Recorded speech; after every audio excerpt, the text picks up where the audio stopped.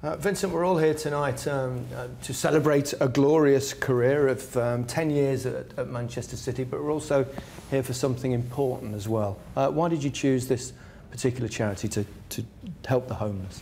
Well, by now I'm, a, I'm an adopted Mancunian, and uh, this city has grown on me. Uh, I have a wife from Manchester, I have three kids who think they're more Mancunian than anything else which is a problem I need to address.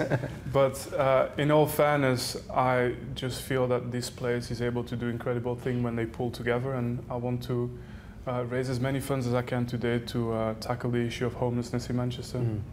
And it, has been 10 years. It's been an incredible journey, I would imagine, that over that 10 years. The change in, in the success of the club has been quite remarkable, hasn't it? Yeah, it's been a transformation, but I think along the years, what I've been able to pick up on is uh, what was already there in Manchester City and has been there all the time is that kind of uh, attitude. And I remember in the beginning it was more about thinking something wrong is going to happen no matter what. Mm. And, and, but also that get on with it attitude. And, and it's, it's just suited me from day one. And this club where it is today, is, uh, it's unbelievable to, to have been a part of this journey. Mm. Attitude in Manchester? Who would have thought? It's a gift we have, I'm afraid.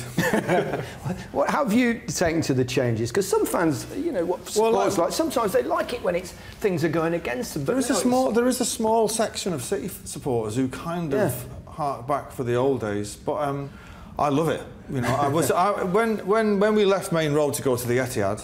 Um, I was a bit, why, why are we leaving Maine Road? But um, I think the changes have been amazing. The club is unrecognisable now. And the main difference is what Vinny was saying about the attitude of City supporters of like thinking everything was going to go wrong. What we had was this thing was when we got a good player, if we'd have had him without the money coming in, we'd think he's going to be gone in two seasons. He's going to be gone somewhere. It's going to be Liverpool or Tottenham or somewhere. So we enjoyed it for what it was. We lived in the moment. Unfortunately, the moments were all pretty terrible. Um, but now we managed to keep, we, well, we keep all of our great, and we buy other teams great players. But you know, to win the league three times, I never thought I'd ever see it. I never thought I'd ever see it.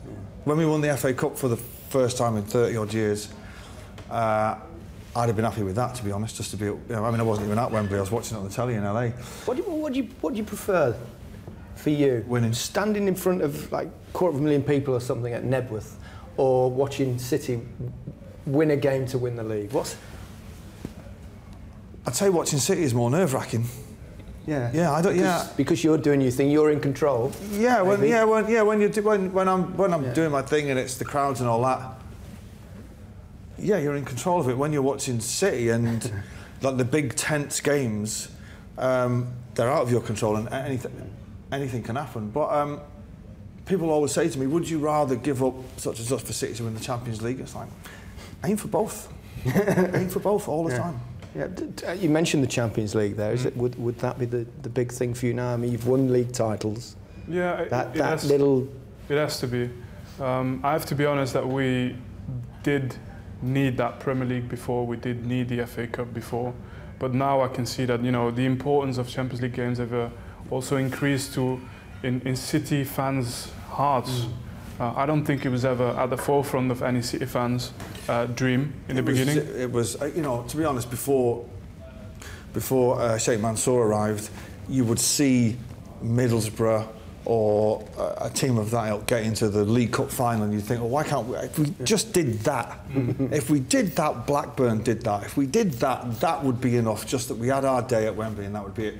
Now, the Champions League, I guess does it spoil you a little bit? Does the expectations just keep going higher? No. Well, I mean, we, we are spoiled. Yeah, well, yeah. no. I mean, if look, if you're a 15-year-old City supporter now, right? They're going to be. They're going to be expecting. Yeah, very true. You know, I you speak to them and they say Arsenal. What murder Arsenal? What are you talking about? when I was growing up, you're like, God, it's Arsenal. You know. It's so, funny, I've got the same thing with my boys because yeah. Leicester won the league. That three of them support Leicester, well, and after that, they're, they're, now going. They're disappointed when they finish eighth or ninth. I've got, a, I've, I've got a son who's eight years old. He's only ever known in his entire life utter dominance by, and, and, and when he watches, when I'm watching old things, he's just say, "How do we get beat by Derby?" he's not fully half of it yet. Um, so, I guess there's a generation. I'm in my fifties we're just happy to have lived these great moments so far and seen these great players. And to that. yeah, alive. so we're totally. Yeah. Uh, Vincent, uh, over those 10 years, the, the highlights, I mean, there's been the, some amazing moments. I mean, the Aguero moment must be right up there. That was extraordinary. That's it. You've named it. Can't look past it. Can't look around it. That's that's the moment that defined so much for this club. A lot of the players coming through today and being in this environment um, have to thank probably that squad, but Kun in particular for that goal. To me, he's a hero, and I play with him every day. uh, I see him with all his flaws, but then when you know, I just take a step back and I'm like, okay, what this side? He's got plenty, but Because he's a box player, a goal hanger. well, you know, I, I just think this guy is, is he's just one of my teammates, he's a friend, and then I look at him and I say, this is how defining it was when I look at this goal. I'm like, this is how defining you've been for my career, for City fans' expectations. What about today. you, Noel? Same? the Aguero moment doesn't happen without him scoring the goal in the derby Yeah. Hmm. Hmm, six weeks before that, where you have to win that game, and you have to beat Man United, and it's and, it, and they're our neighbours, and all that went with it. And for him to score that goal, and then for us to stick it out for the last whatever it was, I can't remember when the goal was scored. It was just all the days. The last 20 minutes, half an hour. That was colossal. That to me, the Aguero moment doesn't happen without that goal. Still go for the Aguero a bit.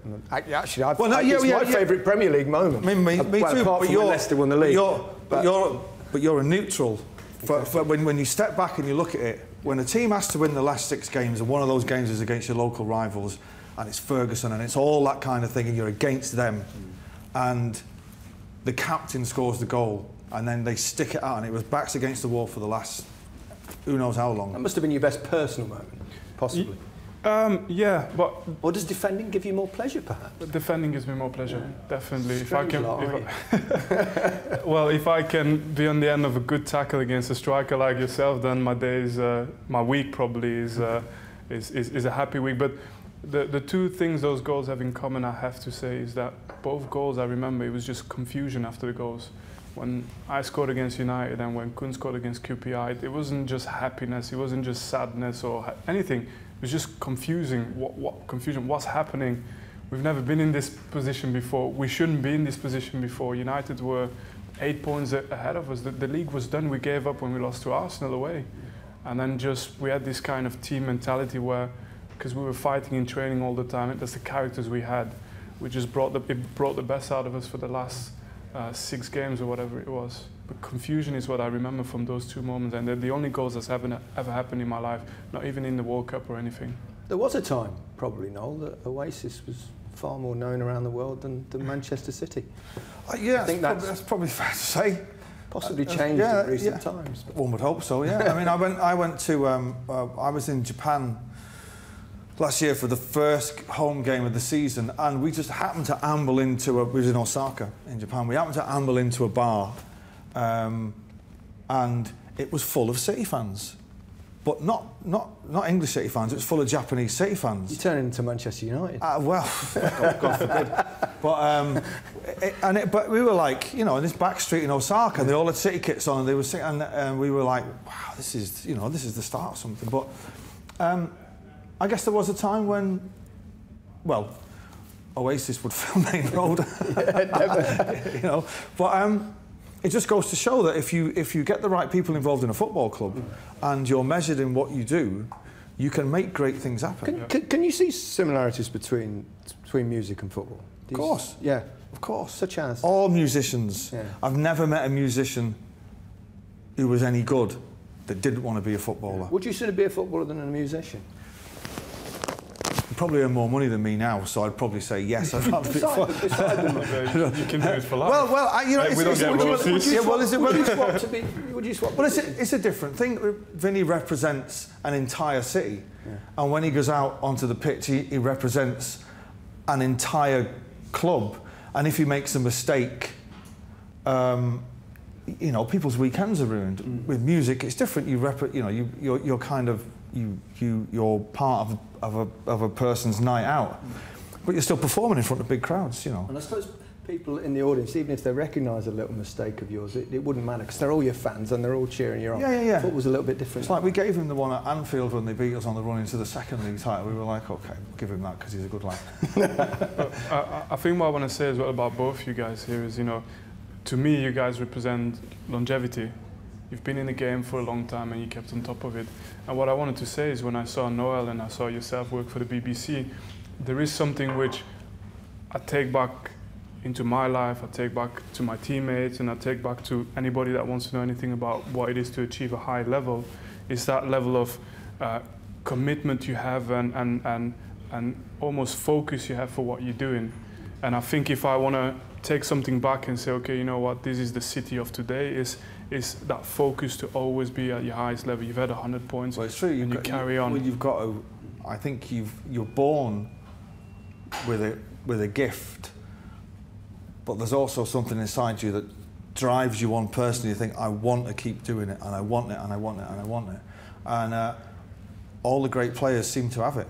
All of them. All the players that get to the very, very top, they seem to have that one common thing where they would just had it. I was on holiday recently, and Arjen Robben was on his month-long break for Bayern Munich. Did he and I cut in and bend it in the top corner with his I didn't, but I seen him in the hotel. He was training every single day with his computer thing on, Yeah. and um, that said it all to me. These are the players that get to the top. You know, they don't. They're not. They're not sitting around drinking pina coladas What, what, what's going to happen this season? How's it going to go? I, I, I want us to win the league. I want us to go for every trophy, but as the manager said before, it's not realistic to. I think you take it game by game. But um, what I want to say is it touches back to what we mentioned about the focus and the standards. It's such a tough ask for a squad of 25 players to be focused every single day in training, in games, and to achieve every single uh, day the same standard when you know the team uh, uh, that plays against you will do everything they can to beat you. So, because I see that level of focus with the manager and the players, I'm fairly confident that no matter what, we'll finish pretty high up in anything we do this season, and there's still four competitions to play for. It's going to be close in the league.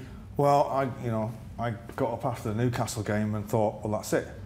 And the one thing you can say about the Premier League is it will consistently make a fool out of you, because you know you'll you'll get up the next morning and you know less uh, Liverpool have dropped points, and on the two times apart from the year that we got 100 points, the two times we won the league previously, we'd all given it up. Yeah. We'd all given it up. You just don't know. There was a, the, the, night we're playing at Sunderland at home, and we're 2 1 down with seconds left, and Nasri misses a shot and it squirms in, and you just think, wow, I can't- you know, and then all of a sudden things play out, Steven Gerrard slips. So right now, you can't call it. But I think in any other year, I'd be quietly confident. But Liverpool have been unbelievable this year, like unbelievable. They've been very good. I think it's going to be really close. Uh, gents, we've got we've got a dinner to go to. You've got to raise some money. And I've got to eat. Thanks, guys.